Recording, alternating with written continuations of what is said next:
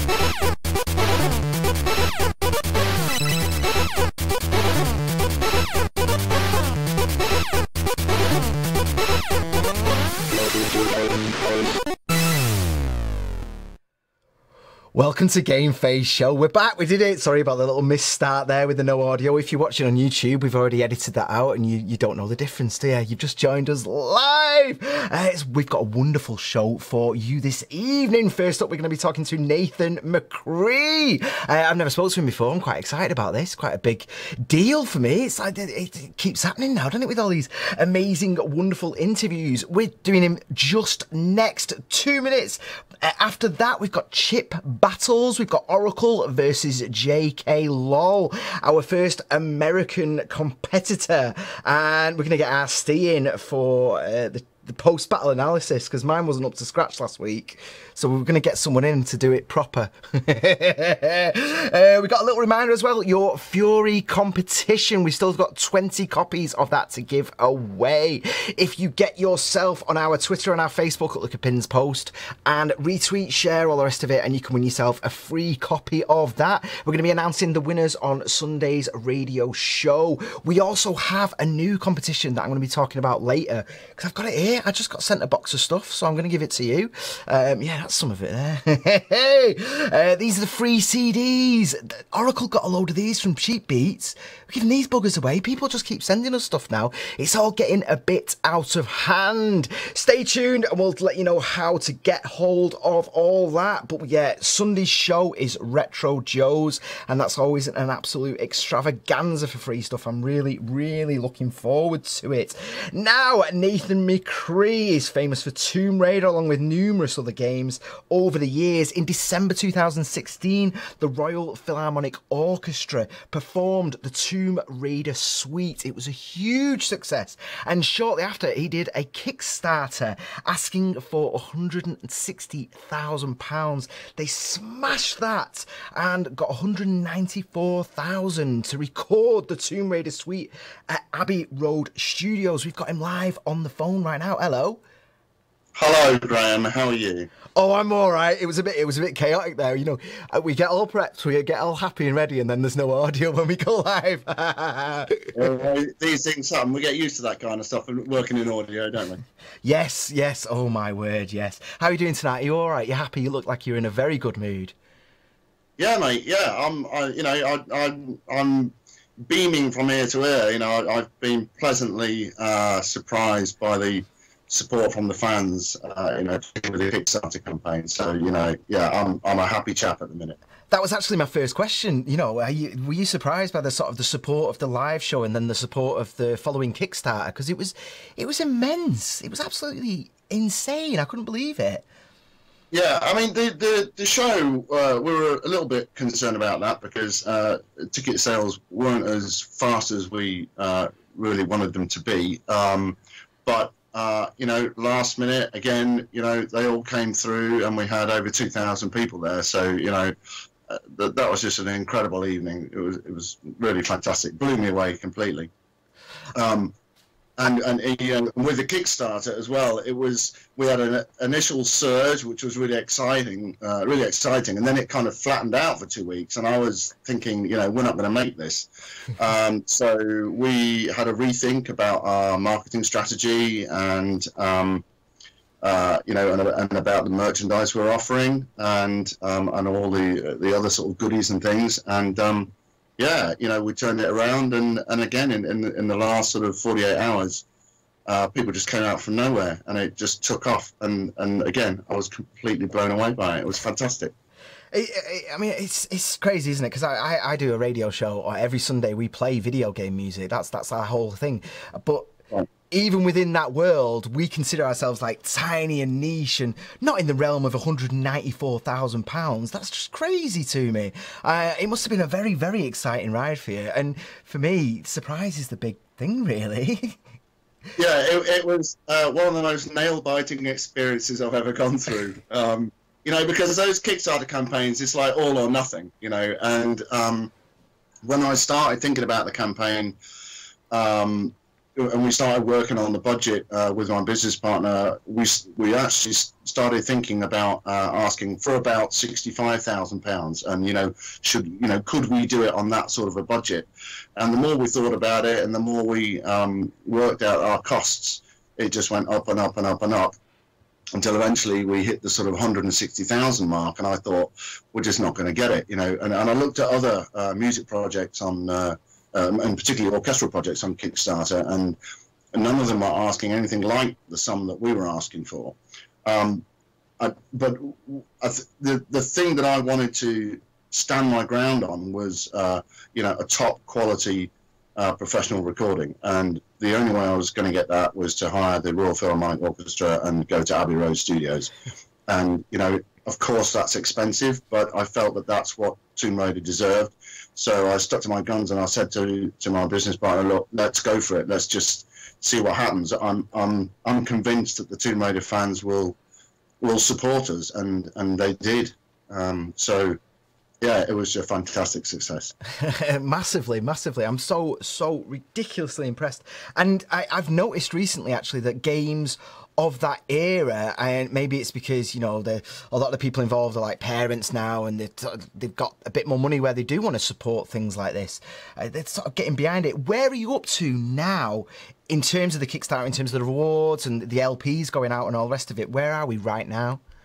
Right, so um, I've spent the last month going through all the um, emails and comments uh, that came through during the campaign, um, cataloguing all the uh, purchases that everyone's made. Um, I'm only about halfway through it, so there's probably another month to go yet. Um, and basically, I'm putting all that data into a spreadsheet so we know exactly how many items of each piece of merchandise we need to make. Then we can work out production costs. Um, we've only been able to make sort of close estimates on those for now until we know the exact numbers. Um, so then we can work that out. Then we can go into production and start uh, making all the stuff for everybody. Um, we have managed to book the recording session at Abbey Road now, and we've booked the orchestra, the conductor, and we've also increased the size of the choir from 16 to 40 singers. So we, uh, we're going to use the Metro voices for the choir. Um, Robert Ziegler, who did the uh, conducting for the live show, he's going to be doing the recording as well. Um, it, it was, uh, if I could correct you, actually, it was the Royal Philharmonic Concert Orchestra yeah. uh, that we used uh, at the Apollo, and it's the Royal Philharmonic Orchestra we're going to use for the recording. They're different orchestras, um, but under the same umbrella. So um, uh, the Royal Philharmonic Orchestra uh, do mostly recordings, and the concert orchestra do mostly live performances. So that's how that works. Um, so that's all booked. We've got a date for uh, the 16th and the 17th of October. That's a Monday and Tuesday. We have three three-hour recording sessions on the Monday, and two three-hour recording sessions on the Tuesday. Um, so that's kind of where we are at the minute. I want to I want to ask you actually. So obviously, um, Kickstarter is quite a, a, new phenomenon in terms of funding, in terms of getting stuff out there. Uh, how else has the industry changed for you? Because you've, I mean, you've been there since pretty much the beginning, haven't you? Yeah, uh, yeah. You know, I, I, I started out in '93 working on uh, Sega Mega Drive, which is just a chip-based console. So you know, I was the FM literally. Yeah yeah, you know, programming numbers using a QWERTY keyboard. That that's how we made music then. Um, a few years later, when the CD consoles came in, that enabled us to use the more professional music sequences like Cubase and Pro Tools and stuff like that. So suddenly we had to really up our game in terms of music production because we were competing with, you know, obviously the uh, the, the, pop bands and and you know live orchestras at the time. So you know it was that was a really big leap for us in 1994, um, and it kind of forced me to perfect my orchestral production skills, but still using synthesizers. Um, because you know we didn't have a budget then to to hire a live orchestra, so you know all the music that I wrote for Tomb Raider was written using uh, the synthesizers at the time. And this is why I've been chasing this project for the last 20 years because I've always wanted to hear it played by a live orchestra. now it's finally happening. You know, it's taken me a while, but um, you know, it, it, that's not totally down to my fault. Um, quite the contrary. You know, I've been pushing hard for this, um, you know, for a long, long time. Yeah, and, and, and you've you've very much got there, and not you've not just got there, and you've been validated by nearly 200k as well. It's like it's not just a dream and a love of yours. It's like uh, all these people. It still amazes me because I'm into this, but it still blows my mind that so many other people share the passion. You know, they they they, they want to hear it on such a big scale because I, I, I can see why though, because with especially with the first Tomb Raider, that that not just the score but all the sound effects, the way it all came in. There was a little bit of magic there, wasn't there? I, I, got, I got dizzy the first time I played it. I, it was very, very overwhelming in terms of I don't want to say realism, but this other world, and the audio was a huge, huge part of that. Uh, so I'm going to sneak you a yeah. I mean, you know, a, a, lot of a lot of it was to do with the constraints we were working under. You know, we we had memory limitations. We had um, you know, there was only so much stuff that we could fit on a CD. We were also really under time pressure to to get the game finished. Um, and you know, making games back then in 1996, it was completely different to how it is now. You know, now we have game design documents and audio um, specification spreadsheets and all sorts of you know documentation that go into you know organizing and managing teams that are, you know, sometimes in excess of 200 people. And back then, we had a team of 12 people, and we had no documentation whatsoever. We were literally, you know, making it up as we went along. You know, somebody would say, "Oh, wouldn't it be good if Lara could do this?" And someone went, "Yeah, I think I can do that." You know, and then they'd sort of program it. And half a day later, she was doing what somebody suggested in the morning, and and that's how the game progressed. And you know, from my perspective, um, I'm, I'm very much into um, you know submersion. You know, I love watching movies. I love just losing myself in in, in movies and the and the sort of the soundscape that movies can provide. And I wanted to do the same thing with Tomb Raider. I wanted to create a world which, as you were playing it, you felt like you were in it. Um, and you know, because there wasn't much time to write the music, I think I, I did the whole project in about three weeks um, there wasn't really a lot of music to spread across the whole game. So I really had to rely on the sound effects and the ambiences to to create, uh, you know, an atmosphere that was interesting that kind of drew you into the game. So you know, it was it was a lot about the, the constraints that we were working with that that helped shape the game as much as anything else and then 20 years later you've got a standing or, or a standing ovation for it and everyone's uh, I, can't even imagine what your mindset must be um, just to remind everyone we are live right now and we are getting quite a bit of feedback if we can get that fed to me uh, has said hiya Nathan oh yeah I'll just pass that hello. Uh, Reinhardt has come up with, with, quite a good one here. It would be awesome if the first three games were re-released, remastered, containing an orchestra. What are your thoughts on that? It would be a great idea. I'd love it. Yeah, of course.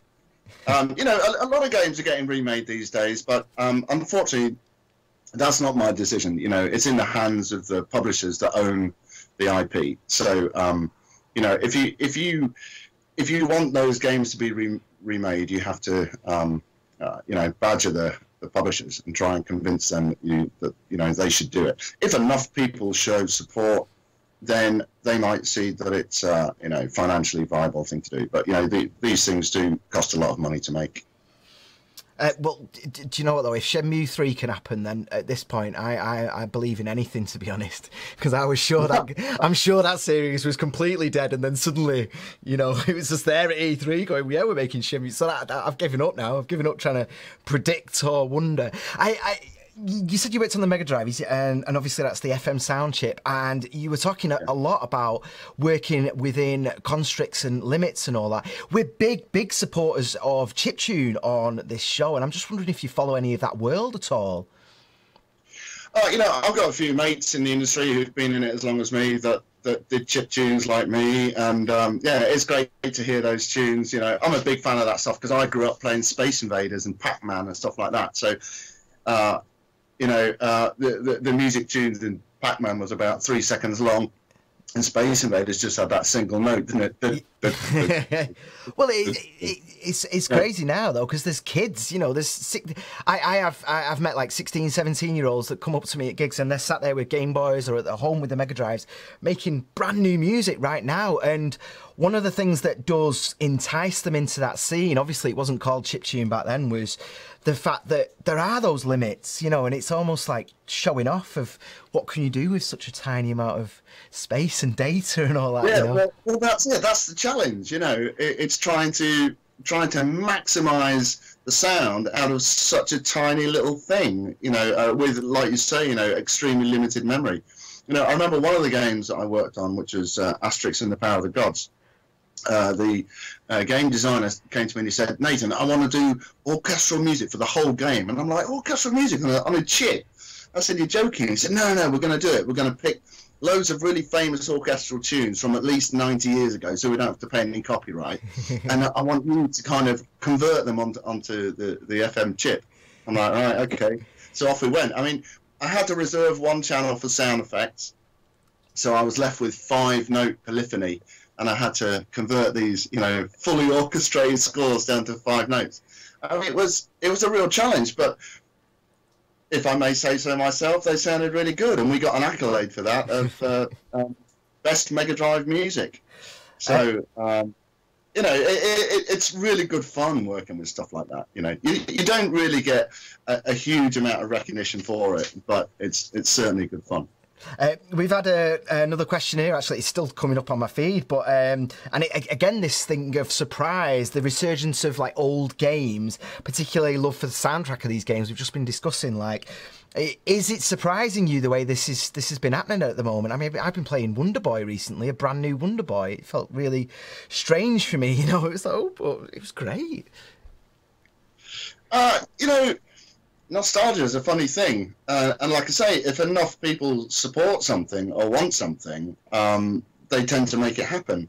You know, I think the reason why I've uh, you know carried on pushing for this Tomb Raider Suite soundtrack to be made um, is because the fans have been emailing me for 20 years saying, when are you going to release the soundtrack? When are you going to do it? When are you going to do it? When can I buy it on CD? I think without that, I wouldn't have I wouldn't have pursued it. I'd have probably given up a long time ago. But I just felt like I couldn't leave it because people kept asking me to do it. And, and that's what I'm talking about. You know, if enough people want something for long, you know, for long enough, eventually somebody somebody will make it happen. Uh, Swiftiness has said, uh, asked if you are emo- I mean, are you going to find it emotional, and are you nervous about the recording? Um. Well, uh, emotional, probably yes. After after it's done, yeah. I mean, I was really emotional after the Kickstarter campaign made its goal. I mean, I did have a few tears, I have to say, because the stress was enormous for that month, and so I had a, you know, a, an emotional moment then. Um, I think for the recording, I, it's not really about nerves. Um, and it was the same at the concert. I wasn't really nervous because, you know, I'm working. And when I'm working, I'm 100% focused and I'm doing my job and people are relying on me to, you know, answer questions and sort out technical problems. So there isn't really time to be nervous. Um, you know, you're part of a team and you're all working together to get something done in the time that you've got to get it done. So, um, you know, it's very much a sort of professional situation. Um, I was a little bit nervous on the concert when I had to get on stage and do my thank you speech. That was a bit daunting because I had, you know, 2,000 hardcore fans in front of me and the Royal Philharmonic Concert Orchestra behind me, you know, and, and everyone was waiting to hear what I had to say. So that was that was quite a nerve-wracking moment. Um, um, but again, you know, I, I, I was in my working professional mode and I had a job to do, which was to thank some people and I got on and I, and I did it. Um, so no, I don't think I'll be nervous. Um, I'm going to be really excited. I think. Yeah, you should be. And, and in terms of standing up on stage in front of him, I, I, I think you could have, you would have had to have worked very hard to not pulled off just saying thank you because they were all there. It's, it's, not like they were like, "Come on, impress me" or anything like that. They were like, I love you. I love you. and I think also it was quite nerve wracking because all my family were there, and uh, and I think it was the first time they'd sort of seen me in my professional capacity like that. Um, and of course, you know, in front of all those people, uh, yeah, yeah, it, it was a it was a proper emotional moment. Yeah the one and only time that my father has seen me play live in any way whatsoever, because I, I, you know, I do sort of live gigs and events and stuff. The, the, time I knew my dad was coming, I couldn't handle it to the point where I dressed as a Boy Scout, shaved my beard off, and just thought, I'll just deal with it this way. I'll just be, I'll freak everyone out. And yeah, it was a bit, it all went a bit weird. I, I, went on stage and no one else was on stage. It was dead early, so I was just there as a scout. It went all right though.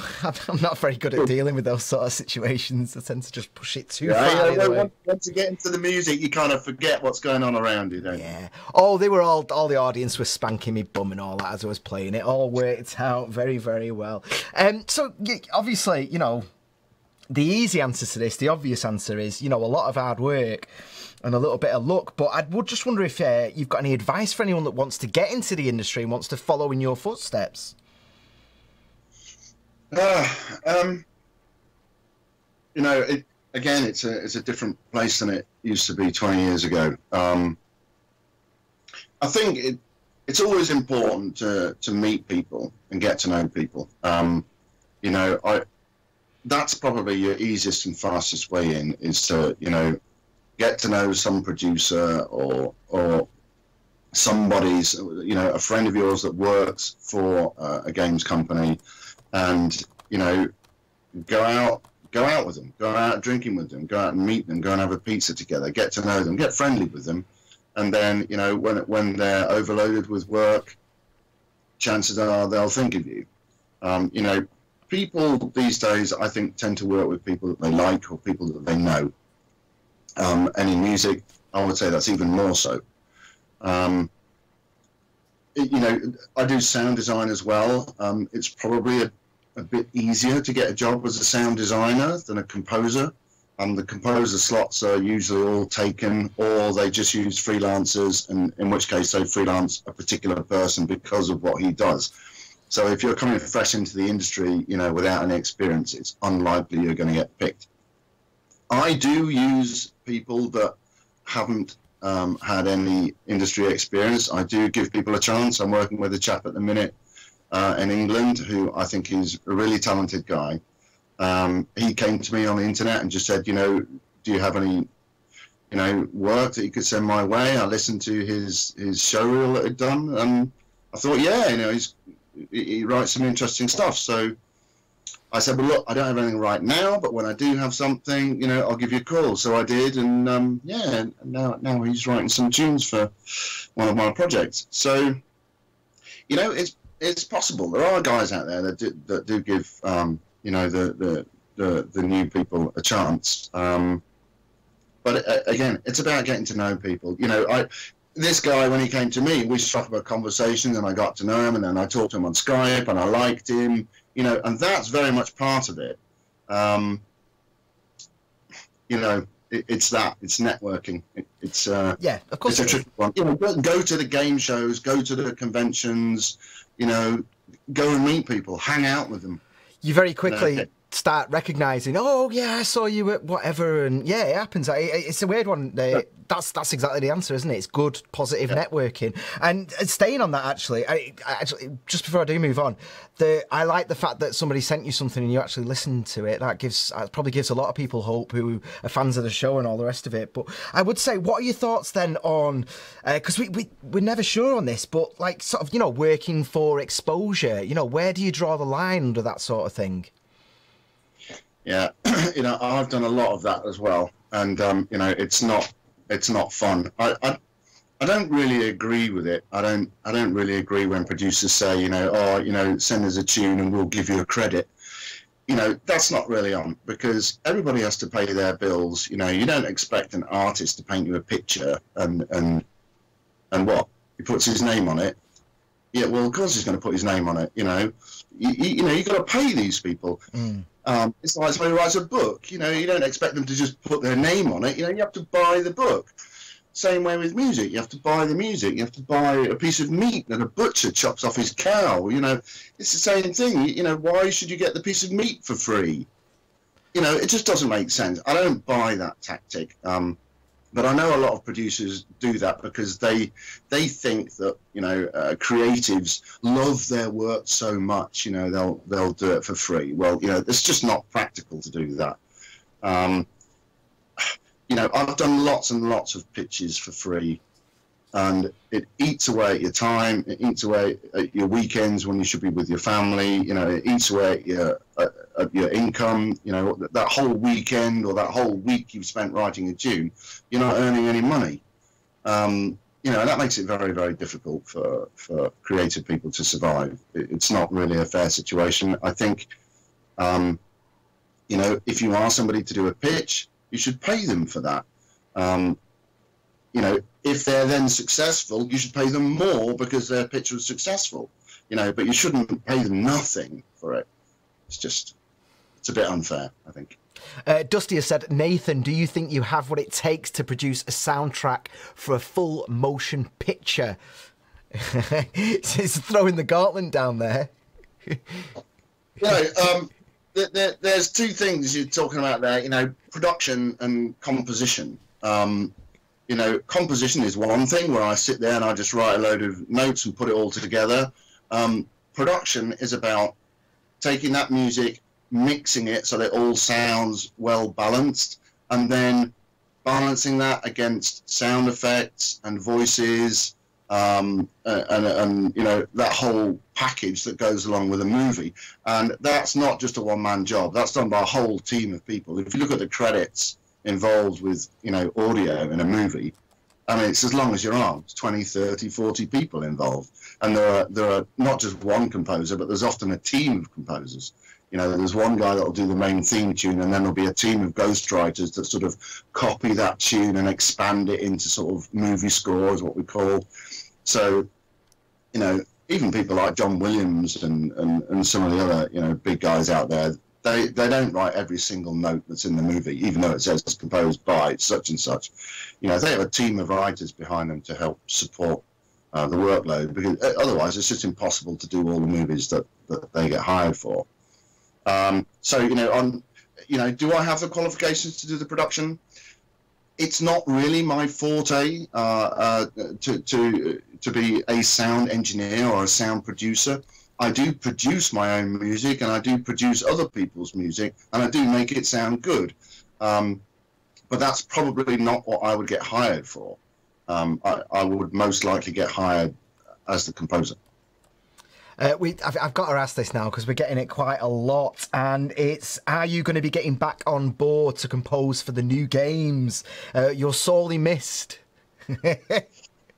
well, you know, I I would I would very much enjoy that. I would like it. Um, you know, it's been a long time since I I worked on the actual Tomb Raider games themselves. Um, I have had some conversations about that but um, there is nothing concrete yet. Ooh, I like that. I like mystery teases. that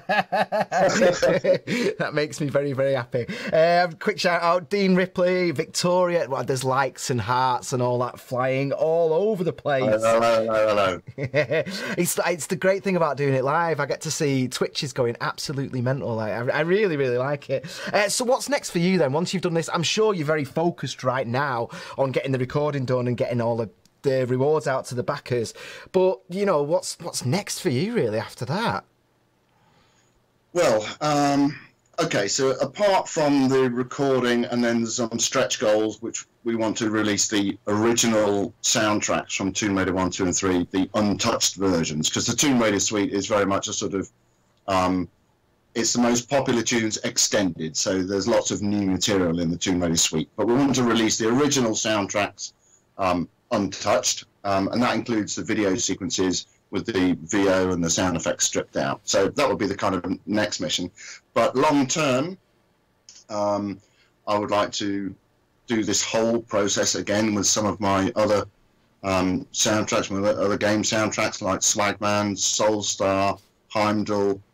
Um, you know, I, would like to tackle some of those um, because I think they're worthy of release as well. So, um, you know, I'm I'm hoping that not just the Tomb Raider fans um, will be interested in that, but I'm I'm hoping some of those some of the other fans of those games will kind of you know come on board a little bit and and, and support me.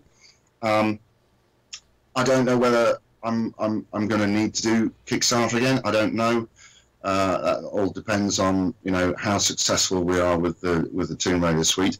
Um, but aside from the the album that we're recording with the Tomb Raider week, we've also uh, I'm, I'm pushing forward with the world tour um, because obviously we did that one show in London, um, and I wanted to take that around the world. So we're in negotiations with um, Opus Three in America, and they are going to be um, rolling out the show across, uh, I think, 200 orchestras across America.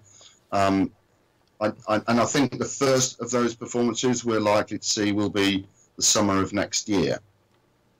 Um, so I, I will probably be engaged in quite a few of those. Um, I won't be touring as such because it, it's it's not a tour like that. It's basically we throw it out at all the orchestras and then they decide whether to include it in their summer repertoire or their winter repertoire, this kind of thing. And there is an option which, if they want me to appear at that show, I can come along and, you know, do a little thank you speech again. So I'm, I'm, I will probably be involved with that quite a bit next year. Um, and then we're hoping to move that across Europe and then also Japan after that. So, yeah. So there's all of that to do and I want to try and get some new game soundtracks out as well. I, I, um, I you, you, say there's there's an option to have you there. I think that judging by the chat tonight, there's going to be an absolute clamouring, and people will be people will be outraged if you're not there. Be, you, that, that's that, that's going to feel so strange though, because even if you just do end up doing three or four or five or whatever, you, you're going to end up with a that little bit of like a rock star complex, aren't you? Going around and arriving at all these places and everyone being like, oh, oh my god, oh my god, you know, what's that going to do to your ego? I mean, are, you are you already a humble man, or is, is was that ruined a long time ago? Uh, you know, I, I, I, back in 96, 97, 98, when Tomb Raider, um, you know, went really big. Um, that was quite a difficult thing to um, take on board for for all of us on the team. You know, we, we had lots of TV interviews and, and lots of press coverage, and um, yeah, that that felt then a rather sort of strange situation to be in. Um, but since then, you know, I've got a bit older and I've mellowed out, and um, it's exciting to be, you know, pushing this project forward now. But um, I'm I'm I certainly don't let it go to my head. You know, I, I, I've, I've learned lessons from when I was younger, and um, you know, this is all for me. This is all very much about giving the fans what they've wanted for the last twenty years, and you know, I'm really happy to meet those guys and to and to come to these shows and to have a drink with them and and and you know, sit down and chat with them because they've been wanting it for such a long time and, and they deserve it. Yeah, I'm going. In fact, the last the last comment I'm going to read out because we're running out of time now. That is from Stepiroff, and that's I am so proud of everything you've done 20 years ago, and now I had a blast helping raise money and promote the Tomb Raider suite through my Twitch screen. Would do it again in a heartbeat. Oh, that sums it up basically, doesn't it? That's great. That's great. You know, I thank you very much. Um, you know. I, I, I have been humbled by some of the comments, some of the amazing comments on the on the Kickstarter uh, campaign. You know, I, I tried reading some of them towards the end, and you know I couldn't, I couldn't, I couldn't verbally speak the, the, the whole message. It was just, it had me choked up. You know, I think Lara Croft and Tomb Raider for some people is like their life. You know, they've lived and breathed it for 20 years, and and they are so so passionate about it. And that's not something to to make fun of at all. You know i'm i'm really passionate about certain movies and certain bands which i grew up with and i know how that feels. And and so i'm i have full respect for those people. And you know without them I, I i wouldn't be sat where i am today. So you know i i have them to thank for everything Nathan, thank you so much for joining us this evening. It's been wonderful, actually. I've really enjoyed this. Because we've, never, we've never spoke before, have we? So No, we haven't. you could have hated me. You could have been sat there five minutes and just gone, nah, sick, quit, kill it.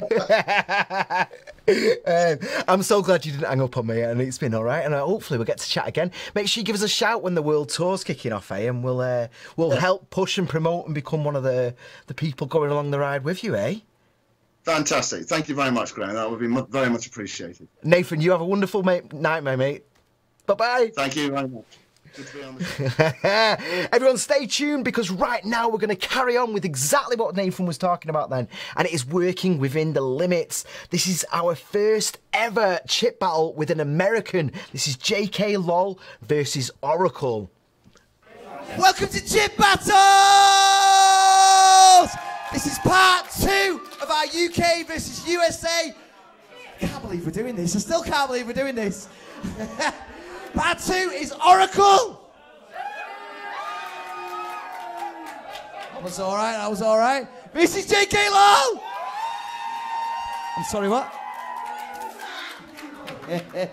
As always, everything for the battle has been written specifically for tonight. Everything you're going to hear is completely unique for this evening. They've got three rounds to win you over. And not just you, you, you, you, everyone. Okay, before we started, we flipped a coin. JKLOL, you lost and you're going first. Are you ready? Yeah. Yeah. You lost the first round. Are you, you're going to win. You're going to bring it back, yeah? I will. Mask up.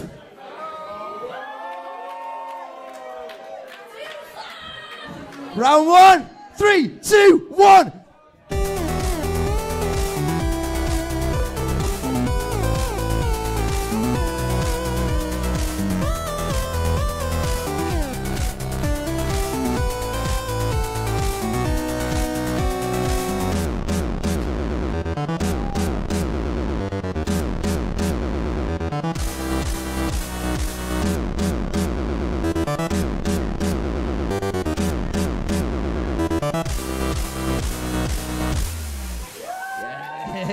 I'll take that. I'll take that.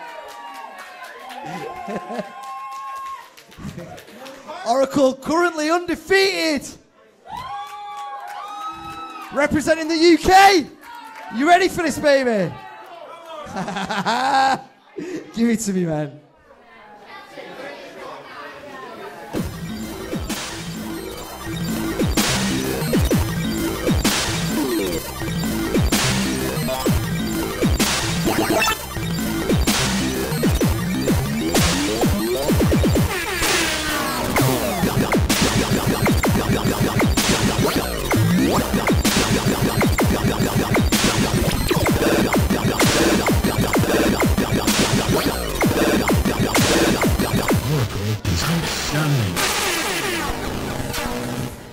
Coming out strong. Oh my god. That's good, man. That's good. Oh, good. JKLOL, you ready? Yeah. Your reply, Team USA! Give it to me, baby.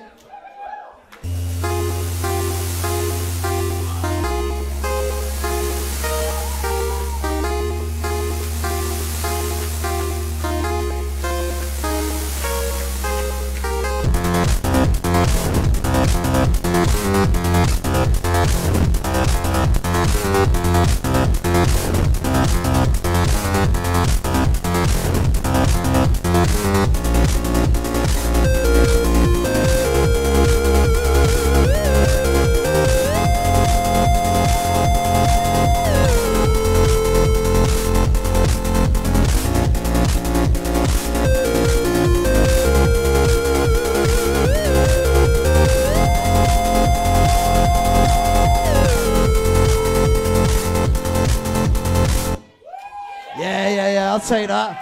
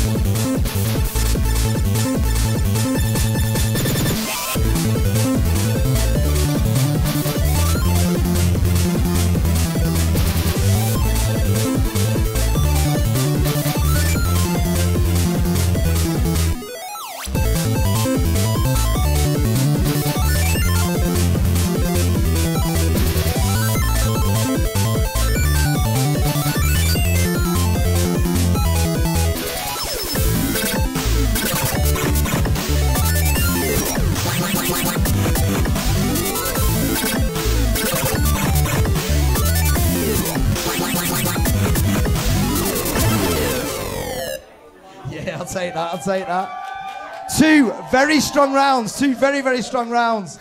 Uh, where's Armand for the camera? Anyone watching on YouTube? Click the little eye in the corner there to vote for your winner. But don't do it until the end, though. Don't do it till the end. But when you do, there's a little eye there. Vote for your winner. Let us know. Let us know below in the comments as well. Final round.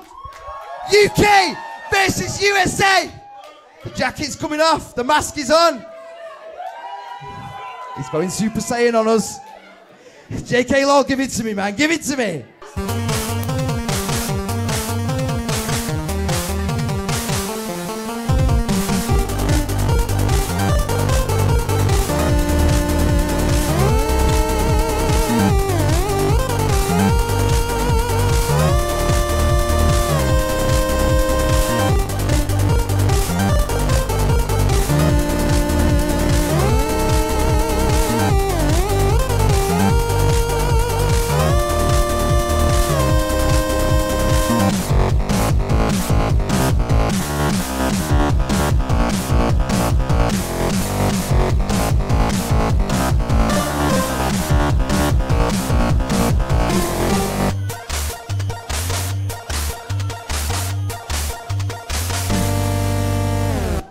Take that one, Vickett. Yeah, mate, mate, that was all right, man. That was all right. All I can hear is JK here. It's going 1 1. It's going 1 1 after this round if you don't start making some noise for your boy. Auracle, you ready? I thought chiptune was supposed to be getting away from these video game sounds. Let's make something bit more, you dropped Tetris at the last one. What are you on about? Give it to me, man. Go on, please. I want it.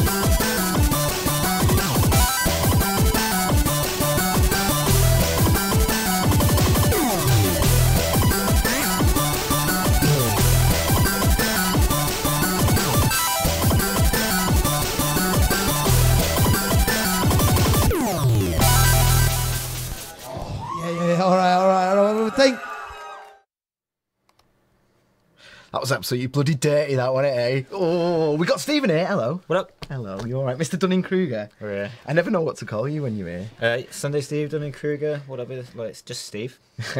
uh, two things in terms of.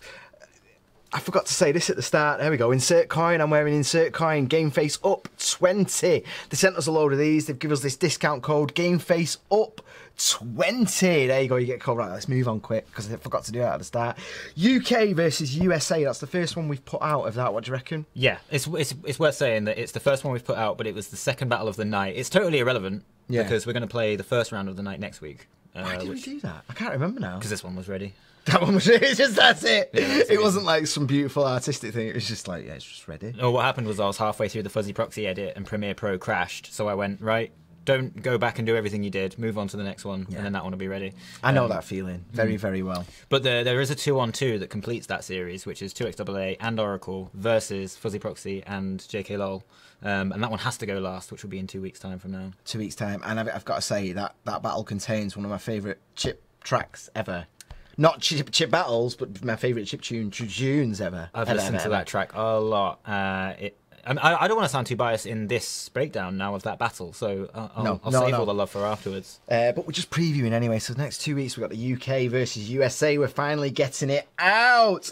And I've got, I've got to say for me for me personally Auracle Auracle took that. He he beasted it. It's frustrating because we had a bit of a delay here because we were watching the Twitch feed to re-watch it and re-listen. So we had to cut it off halfway through Auracle's third round and we were both just sat here going I've heard it so many times, but I would still have liked to have listened to the end of it. uh, Hilly OTM has said, "Got to be Auracle, really, hasn't it? If you have ears, it's Auracle." Thank you, by the way, Hilly, for subscribing. Uh, we're going to talk about that in a minute. Uh, Pixie Retro has said, "UK, JKLOL just isn't filthy enough for me." Um, so, round one, Round Auracle one. versus JK Lowell.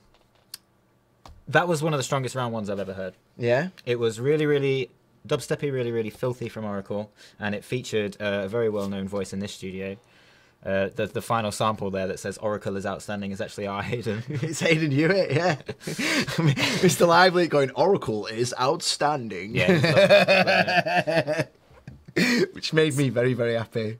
Um, round one was kind of what I was expecting from JK Lowell. I think it was. Yeah. Um, we, we talked a little bit, a lot not last week, the week before, about what what we expected from the artist, and that was kind of what I expected from JK Lowell. Uh, round one, it was quite it was strong. It was strong, and it was very much in his style. But I have heard tracks from his on his albums. Um, I think it was Kill Humanity on his last album. Uh, fantastic, amazing, amazing, amazing track. If you just brought like the drop from that track to Chip Battles, it would have been a better a better round one.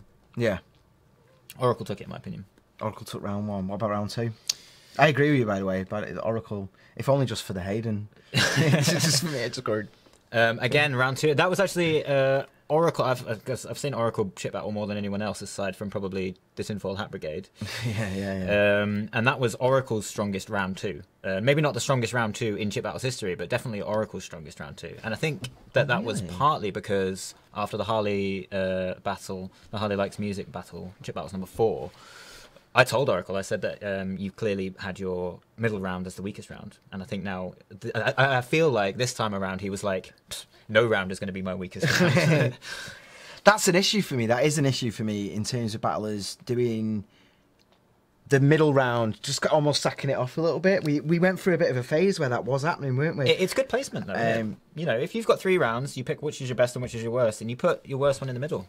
Yeah, true, true, very, very true. Yeah. Uh, that's what I did in my battle, but um, well, we haven't shown that one yet, have we? We'll show it. No, no, we should show that one next week when Miss Mizkai's on. Should we show that for Miss Kai? Well, because I'm in it, it so it should be a week where I'm not here, definitely. Are you not going to be here for Miss Kai? Well, I'm not going to be here talking about that chip battle.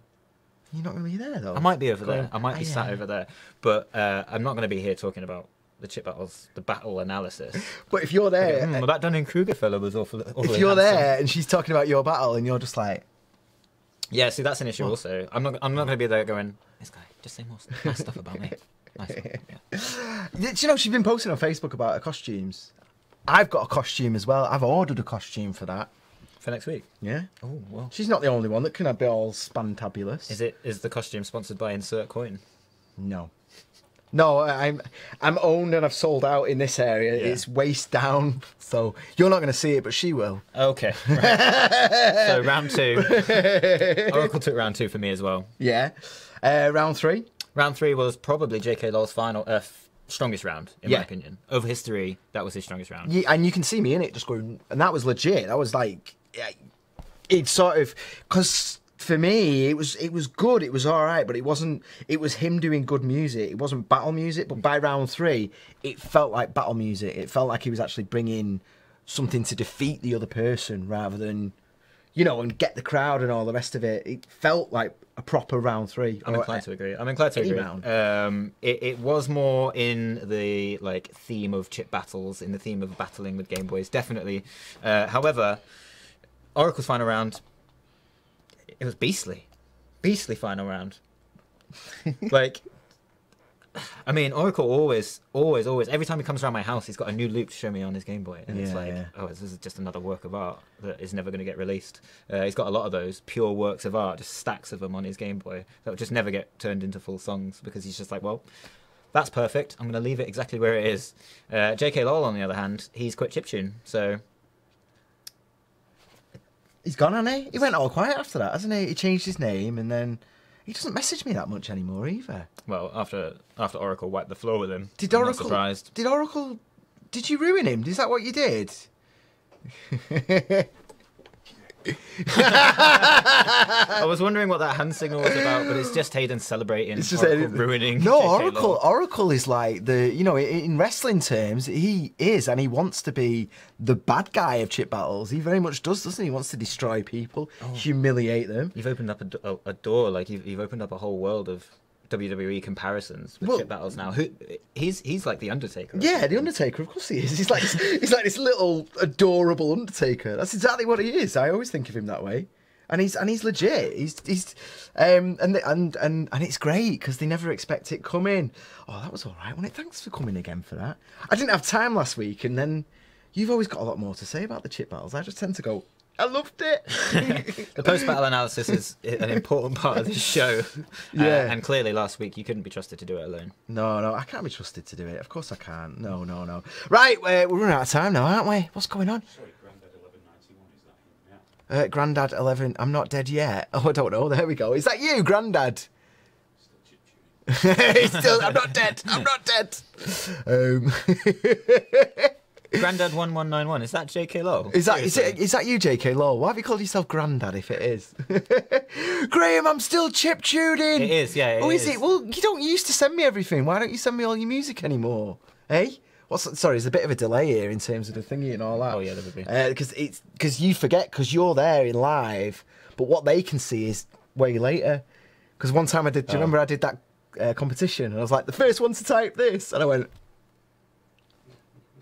Oh, it's his BattleNet account, Grandad one one nine one. oh, fair enough. That still doesn't explain why you're called Grandad. Why are you called Grandad? Why are you called at Grandad? What's going on?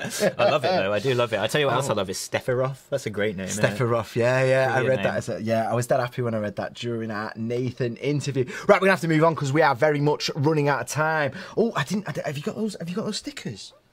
Um, we've got a Redbubble account now. Check this out. Um, it's a really cheeky. Go, go get them. Go get them. Go get them. walking off the side of the What? I, t- I, t- I, I told you we were doing this. so if you do want to support the show and you want something really, really cool uh, that you can put on your cat or computer or anything, we have currently got these available from Redbubble right now, and we've ordered some ourselves. And I'm going to stop turning that one because there's no need, is there? It's all thingy. Look at that! How cool are they? They do look great. They're really nice. I think one needs to go on your laptop. What do you reckon? Yeah, yeah. Well, they're not mine. Am I allowed? Uh, you're Oh. Can I uh, it there? Wants that one. Lily Banks wants. We'll sort that out after the show when we're not live on air. yeah. Also, check this out, Numskull. Right? They've just. I got a, I got a package this morning, and because I hate shopping, I do a lot of Amazon Amazon stuff and all that. So I get Graham Boove quite a bit, and today I got a package that said Graham Game Face. What? Stop. Stop. What? Amazon. Amazon. Amazon. Amazon Amazon, Eyes coming back in it. where it came from. That segment is coming back, by the way. We're going to do that again. Look at this. I got sent Atari socks, and uh, I've not even brought it all. Look at all this swag. I'm gonna, I'm gonna unbox these. Like, like, no, no, no, the prizes. Oh no, no, I'm going to separate them so you can unbox them. We're gonna set. So we, this is three prizes. Yeah, well, I'm gonna I'm gonna do a care package. So there's going to be a, a pair of socks in each one, and then random things. So we've got an Atari 2600, we've got an Atari joystick here, Crash Bandicoot, Master System. Numskull chucked me loads of this stuff, and we're going to give it to you. Listen, watch, listen. Watch next week. Next Thursday is when we're going to be giving it away. Listen on Sunday, and I'm going to give you the details because I literally just got I don't know. I really want that. Honestly, It's Look, so a cool, isn't it? Seriously, it's a little master system on a keychain. I really would like that.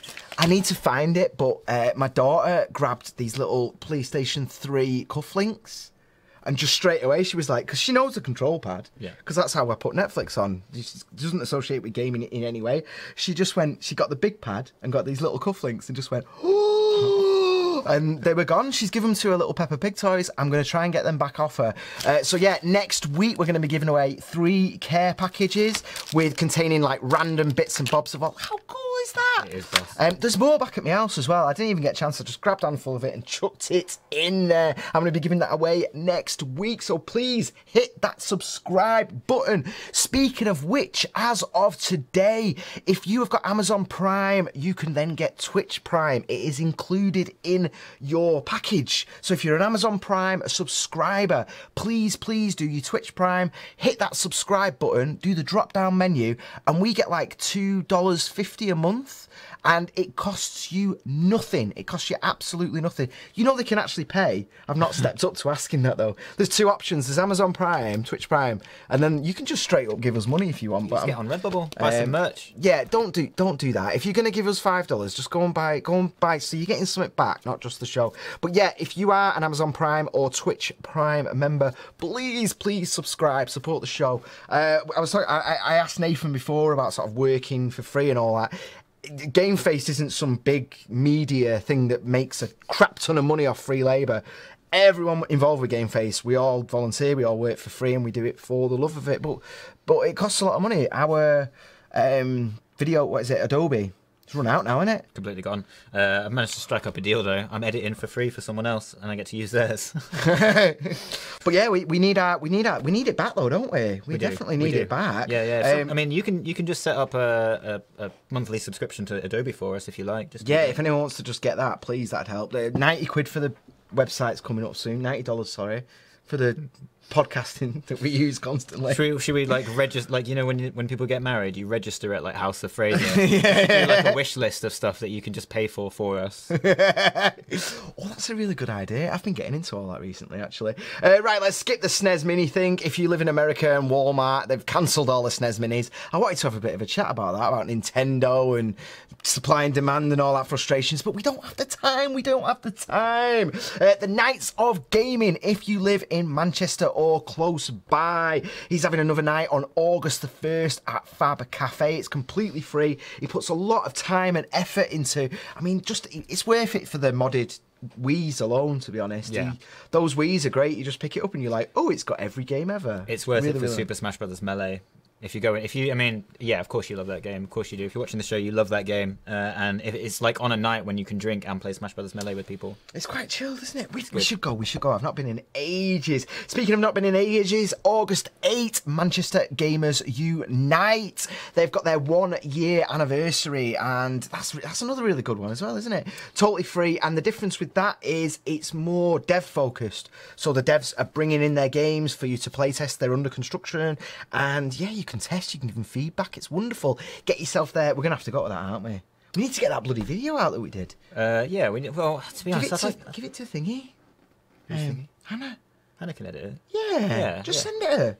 Hannah She's if you're it. watching edit that video please edit it, please, because we've got a backlog. We've not got Adobe. We need it. Right, that's it. That's our show. That was all right, wasn't it?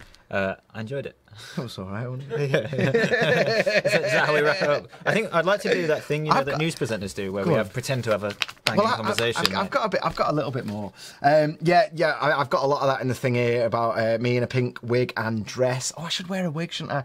And then yeah, Grandad, Graham, I'm still chip tuning. We also have a, a question from Pix Retro asking about a regular podcast. I mean, just keep your eye out on the website. They do go up. Uh, they're starting to go up every week now. Yeah, they're getting there. They're, we're slowly catching up now. Um, definitely, uh, Auracle is on the Twitch or Debs. Please, could you put a link to our Game Face? Uh, gamefaceshow.com forward slash radio. You can see there we've got Mixcloud, iTunes, and Podomatic. They are going up. Uh, in the last month, there's been like three or four that have gone up. We're slowly, slowly getting into the rhythm of it. Uh, Corvo has very kindly volunteered to do it, and she's learning. You know, she's never she's never done this before, so she's she's getting up to speed. And, Yeah. and it's the same when I used to do the podcast. It takes a while to learn to do it quickly and efficiently and all that. Um, so there you go. Yeah, we will get there on the podcast. Tune in next week. Miss Kai is going to be right there. Right there, Miss Kai. And and it, uh, we need to remind her actually, don't wear green. Because, oh my God, though, she wears like a thousand colours at once, doesn't she, sometimes? Yeah, there'll be little, just tiny little invisible spots Little- everywhere, just little green bits. But she just does that anyway because she's magic. Yeah, just day to day, you look at her and she's disappearing and all the rest of it. Miss Kai is on next week. I'm going to leave you with a video that uh, Bish sent me. It's really, really cool, this guy. And everyone knows about this guy apart from me. Oh yeah, yeah. Don't Everyone in Manchester sees him out on the street. Uh, I've just messaged him actually. I'm going to try and get him on the radio show very, very soon. The Mario Busker. This is awesome. Bye bye. I love you. Bye